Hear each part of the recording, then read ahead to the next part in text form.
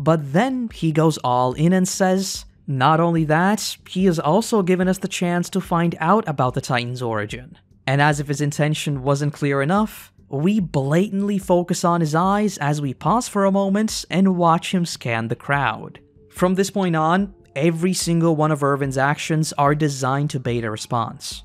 Someone killed the Titans. Eren is a human who can transform into an intelligent Titan. There are two more intelligent Titans. Assuming they too are human, they have exhibited a clear motive to harm the walls. If that is the case, they likely killed the Titans to stop research into them. They used ODM gear, that means they're likely soldiers. If they are soldiers, they could be here. If they are here, they're trying to get even closer to Eren. Therefore, I will lay out baits. And to sweeten the deal even more, he then adds that this key is in Eren's basement. And surprise, surprise, upon hearing which, we very conveniently jump to see Reiner's and Bertolt's reactions.